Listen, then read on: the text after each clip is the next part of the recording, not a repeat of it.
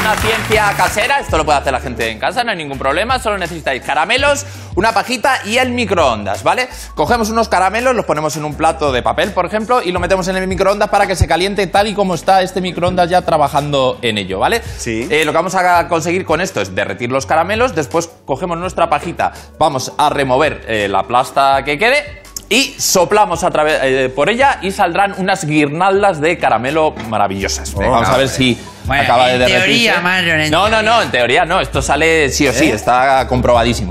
A ver si acaba de calentarse. Yo creo que esto ya puede Tienes funcionar. que esperar a que pite las cinco veces, no. No, no, lo, lo ha puesto Baldi. A ver, mira, cogemos, remuevo y con esto soplo. Vamos a ver si está la temperatura ya bien. ¿Cómo huele? No, está bien. Esto sale sí o sí, no sé qué. A ver, espérate un momento.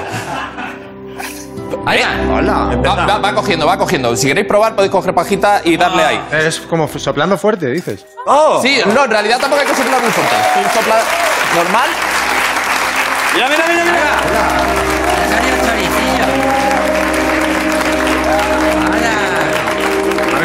Es, un vicio.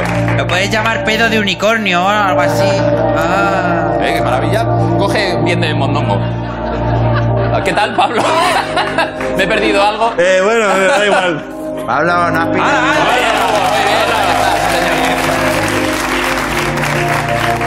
Ya según se va endureciendo ya la Yo creo cosa... que ya. Los ha enfriado. Eh, Ya está mira, todavía le queda un poquillo. Muy bonito. Mejor para antes de que se te salga un ojo. Y eh, Espera, espera, ya, vamos a ver ahí la repetición. A ver, ahí sale.